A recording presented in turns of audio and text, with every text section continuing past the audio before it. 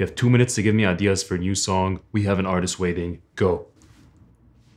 Oh, I have a really good one. A song about a girl. Whoa. I'm sorry, one more time? I, I, I apologize, sir. I cannot hear him. Okay, I love it. Keep going. Singing about her like body shape, maybe her body shape. You know how she's.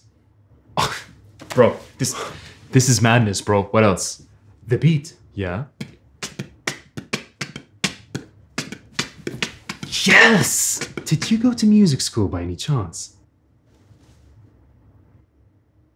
And then how about we have someone just yell brr in the middle of the songs for no reason?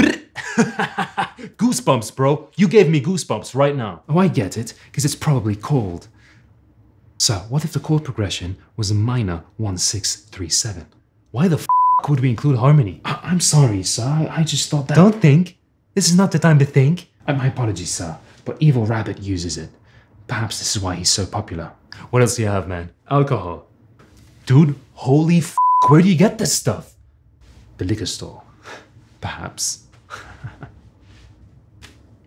A music video. But all the girls are naked.